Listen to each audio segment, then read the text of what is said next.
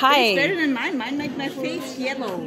Oh, that's very nice. All right. It's Deborah here from Baby Wearing in Canada. I'm doing take three because my fingers keep resetting the video. I'm here at the Buzzidil booth back with Bettina and we're going to take a look at some really neat features.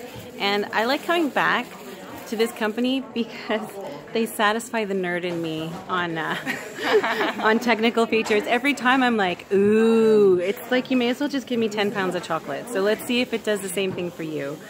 And so it's Bettina. So they've got their extremely modular um, half buckle.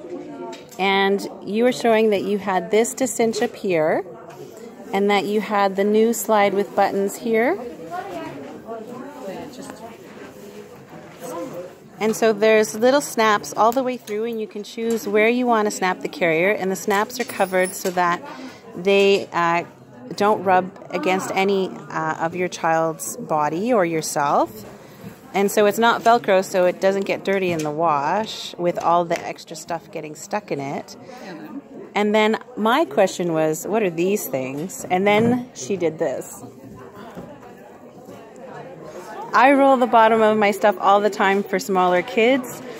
But uh, what this company did is just made it easier for you to shorten the body of your carrier to fit your child at the size where they are now. And it's so simple. You just tie the knot, it's secure, it doesn't flip out. The weight of the baby doesn't cause it to undo, and then you can have them in view. And I just, and it's pretty. The fabric. for my son. Did you really? I, I, was drawing it for my son, for my third son. Oh. It's called Eden and it's where where boys can play with flowers and, and girls with, with paper dragons. Wow! Look, also, it's boys playing with flowers. And there are also those kids. Oh, it's all playing in the park. Yeah, and it's it's butterflies on the tree. And the kites and the butterflies on the tree. Oh, that's gorgeous. So leaves of butterflies and they're flying away. And yeah.